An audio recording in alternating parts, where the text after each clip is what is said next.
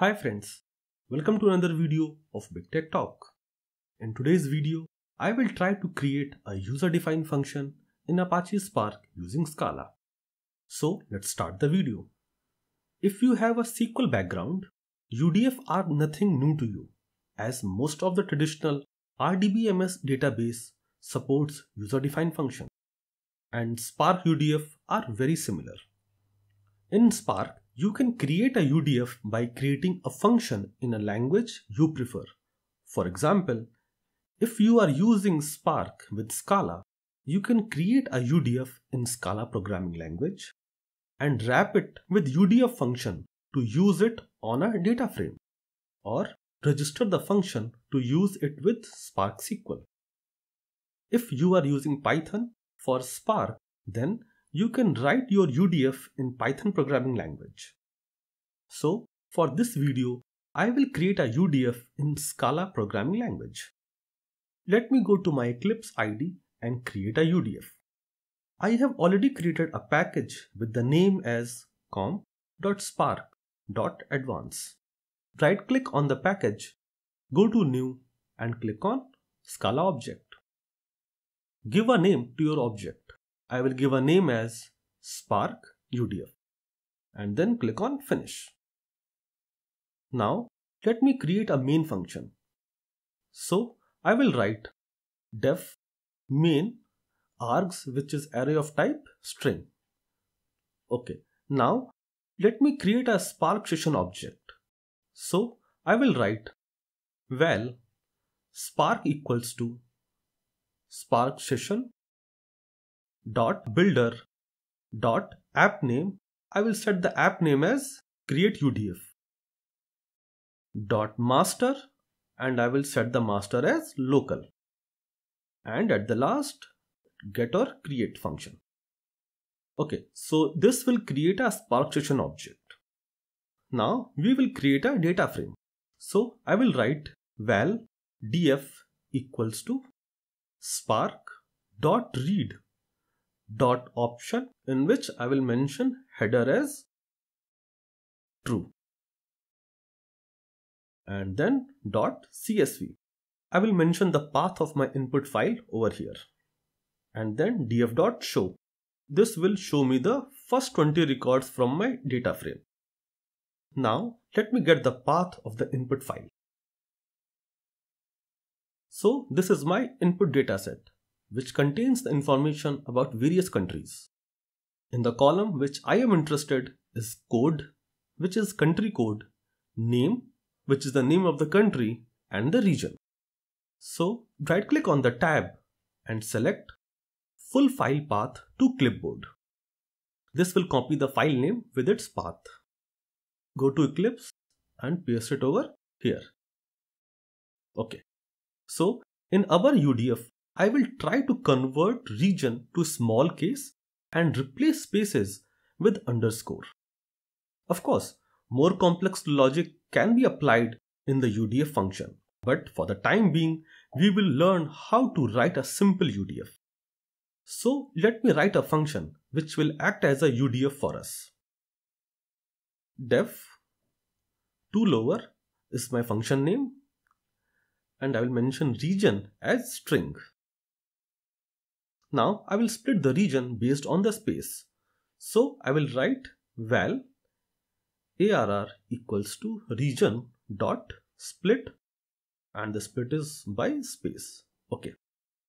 Then I will write arr dot map where f tends to f dot substring and this will be from 0 comma 1 dot to lowercase. Now this will convert the first character of the string to lowercase.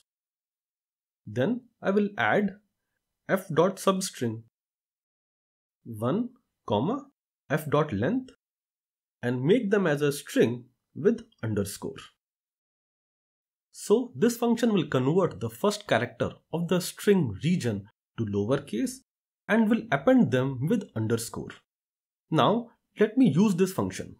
So I will write val code UDF equals to UDF and the function name which is to lower. to use UDF, we need to import SQL functions. So I will write over here import org.apache.sql.function.underscore. Now we can use this UDF in our code. So I will write df.select col, the first column which is code, comma, the second column which is name, third column which is region. And then I will use my UDF function that is code UDF. In the bracket I'll mention column as region and I want the output of this as region underscore code UDF.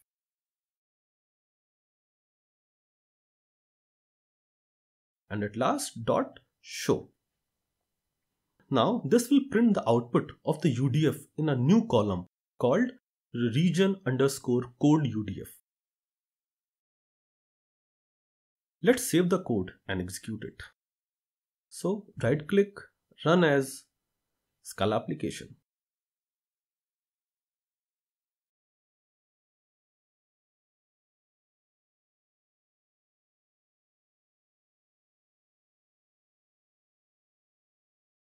Okay, so this is the expected output as the first letter is in small case and space are replaced by underscore. So our UDF has worked perfectly fine. Now let's see how we can use this UDF in Spark SQL. So to use this UDF with Spark SQL, we need to register this function. So I will write spark.udf.register I will give a function name as SQL UDF and my actual function which is toLower. This will register toLower UDF function as SQL UDF and will be available for use in Spark SQL. Now I need to create a temporary view in Spark. This can be achieved by a function called create or replace temp view. So I will write df dot create or replace temp view. In the bracket, I'll mention the view name, which is temp table. Now I will use this view in my SQL. So I will write spark.sql in the bracket select code comma name comma region comma SQL UDF which is my UDF function name as region underscore SQL UDF from temp table and at the end dot show. Over here I have selected code, name, region and then have called a UDF that is SQL UDF and have passed the region as a parameter. The output of the UDF is represented as a column named region underscore SQL UDF. So let's save the code and execute it right click, run as Scala application.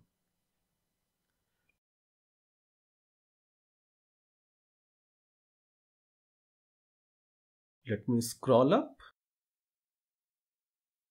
Okay, so this is the output of SQL UDF. The first character is small and the space is replaced by underscore. So our UDF has worked perfectly fine with data frame and Spark SQL. So friends, we are done with today's video. If you have any question, let me know in the comment section. Do hit the like button and subscribe for more such videos. Thank you.